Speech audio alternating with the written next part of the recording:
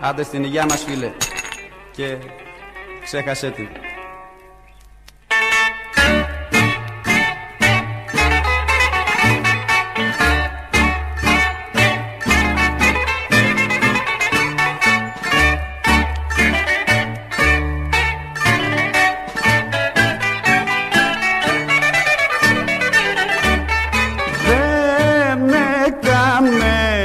Για σένα ναι. Γι' αυτό μη κάνεις έτσι.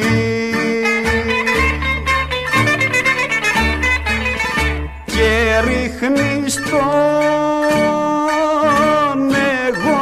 εγωισμό. Και τη δική σου θέση. Παράτα την και μη πονάς το νου σου πια μη τυραννάς γιατί δεν της αξίζει;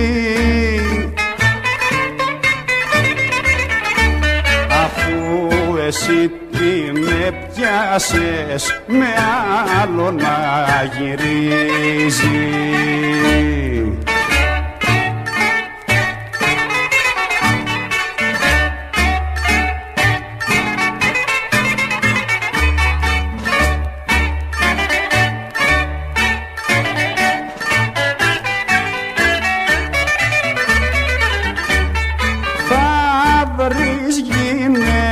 γυναίκα πιο καλή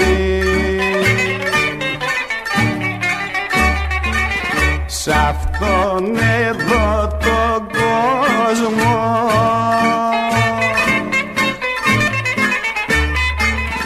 Που θα γιατρέψει την πληγή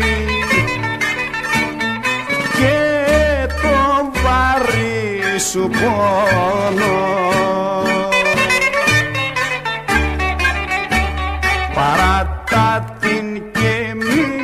πονάς το νου σου πια μη τυραννάς γιατί δεν της αξίζει. Αφού εσύ τι με πιάσες με άλλο να γυρίζεις